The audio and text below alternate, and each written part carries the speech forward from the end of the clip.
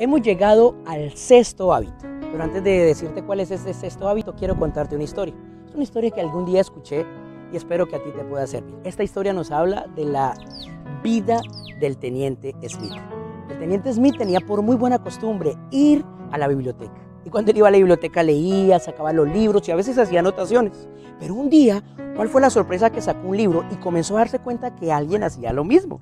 Ah, escribía sus anotaciones, colocaba todo al lado y él comenzó a leer aquellos comentarios. Y le llamó tanta la atención que él quiso saber quién había tenido ese libro antes. Se fue donde la bibliotequera y le dijo, mira, yo quiero saber quién alquiló este libro. Bueno, como estamos hablando del siglo pasado, 1900, no había el internet, no había las facilidades, sacaron el fichero y dijeron, sí, es una señorita que vive a cuántas distancias de aquí, es la señorita Linda. Usted me puede dar el teléfono o me puede dar su correo.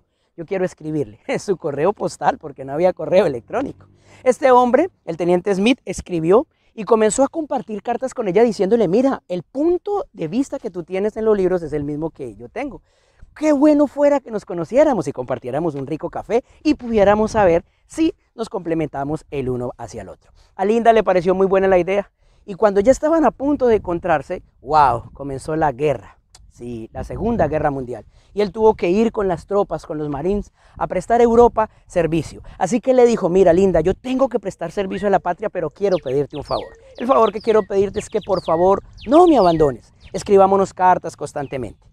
Linda le dijo, así va a ser. Bueno, en el gran fragor de la guerra, en los momentos difíciles que hay en la guerra, las cartas iban, venían, este hombre veía como sus compañeros caían en guerra, bombas, granadas, acababan, dejaban mutilados a todos sus amigos. ¿Saben? Un día le dijo, Linda, tú has sido mi soporte, mi ayuda, mi sustento. Yo quiero conocerte. ¿Me puedes mandar una foto? Porque yo creo que yo ya me siento enamorado de ti. Y Linda le responde y le dice, oh, mi querido teniente Smith, ¿por qué basar nuestra relación en una figura, en una imagen? No te preocupes por eso. Sigámonos escribiendo y cuando regreses me avisas y ahí nos encontramos. Terminó la guerra. Smith volvió, le escribió a ella y le dijo, estoy volviendo. Ahora Linda le escribe la carta y en la carta le dice, ay mi querido teniente, no vamos a poder, yo soy enfermera y tengo que ir ahorita a Europa mientras tú vienes, tengo yo que ir a ayudar a reconstruir. Pero sigamos con el tema de las cartas, wow. El teniente Smith estaba ya ansioso, decía, yo te amo, yo te conozco, yo quiero estar contigo. Para hacerles corta esta historia, dice que por fin llegó el momento en que Linda regresaría a los Estados Unidos. Así que le escribió en la carta, Smith, estoy regresando. Por favor, espérame con aquel libro que nos ayudó a conocernos. Y para que tú me reconozcas, aquí en la solapa de mi vestido llevaré una rosa roja. Wow, Smith dijo, esta es la mujer de mi vida con la que me voy a casar y estaré contigo hasta los últimos años de nuestras vidas. Smith ella se puso su, su, muy buen uniforme de marín, cogió el libro y llegó al aeropuerto. ¿Cuál era la ansiedad? Veía, ¿cuándo va a llegar Linda? Quería ver a Linda. Comenzó a pasar y a pasar cuando de repente, wow, apareció una rubia, 90, 60, 90, y dijo, wow, como me la recomendó el médico, esta es. Pero había un detalle, no estaba en la solapa la rosa roja, pero en el fondo vio esa rosa roja. Y cuando vio la rosa roja, vio cómo eh, compenetraba o se combinaba con unos cabellos blancos de una dama de 85 años, que caminaba a paso lento, blanca su cabello, bastón, cuando Smith la mira dice, wow, esta es linda. De razón no me quiso mandar fotos. Pero no, no, no, yo hice una promesa, estaré con ella hasta los últimos días. Bueno, creo que serán pocos los días, pero estaré con ella hasta los últimos días de su vida.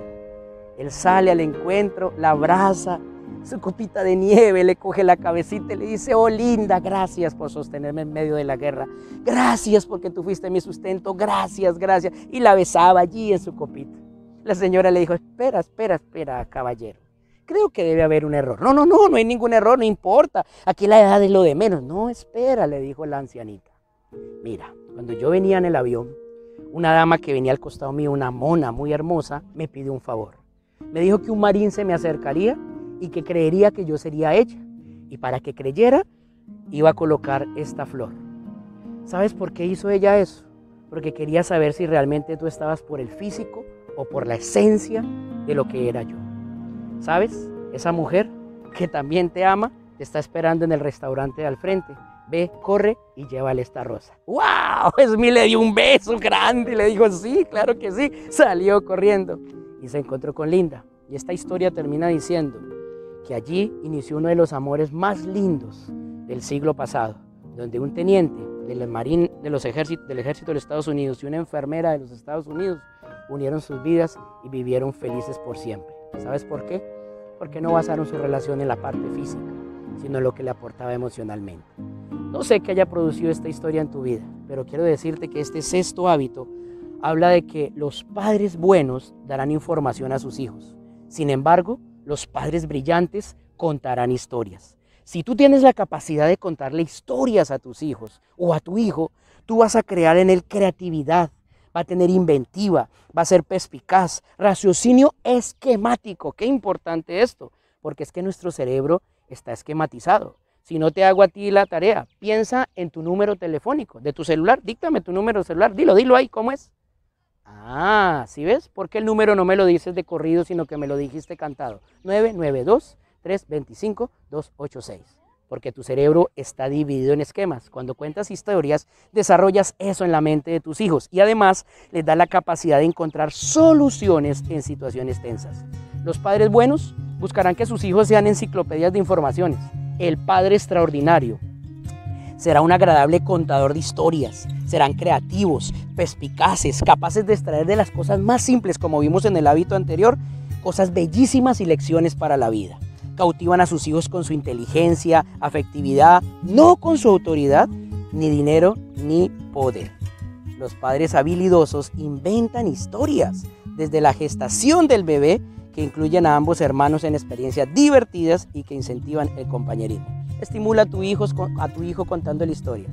Las estadísticas y las investigaciones dicen que aquellos hijos que realmente crecen con sus padres contándoles historias y menos información son más exitosos. Sé intrépido, por favor, papá. Cambia, sé inventivo. Usted puede saber educar a sus hijos de una mejor manera. Cuenta historias. Mira qué historia le vas a contar a tu hijo para que le ayudes a crecer cada día. Nos vemos mañana, el último hábito. Y espero que sigas acá en blogs para que puedas encontrar mucha más información. Nos vemos. Bye bye.